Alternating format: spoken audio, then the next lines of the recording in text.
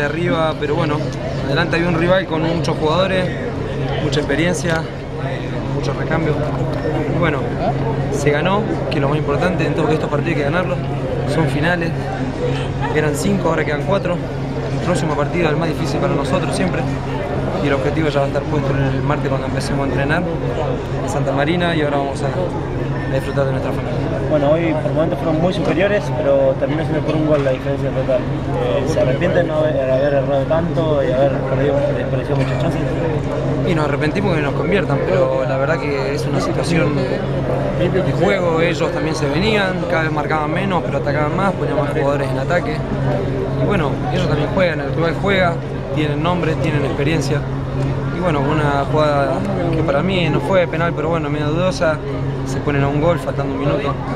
Se sufre, hemos, creo que hemos llegado acá a Sarmiento y bueno, cuesta, cuesta ganar así de, holgadamente y bueno, si tendremos que sufrir hasta el final, sufriremos, pero vamos a hacer todo lo posible para que este sueño se cumpla. Y bueno, faltan cuatro finales. Bueno, como bien decís, cuatro, faltan cuatro finales, Atlético ya fue superado y queda libre. Ya queda atrás Atlético, hay que pensar en lo que viene. No, no, ningún equipo queda atrás mientras los números le sigan dando. Nosotros, nuestra mente, como te digo, que está bien que hagamos, es pensar en el partido que viene nada más. Porque la verdad que, que son todos rivales duros.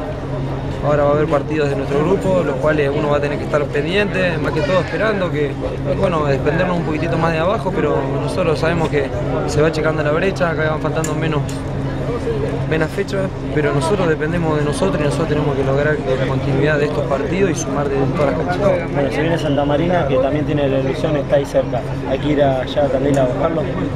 Hay que ir a Tandil a jugar como venimos jugando en todas las canchas, buscar el partido. Es un error, si uno, sale a esperar a ver lo que pasa. Siempre intentamos jugar, se ve y gracias a Dios los resultados se están dando. Así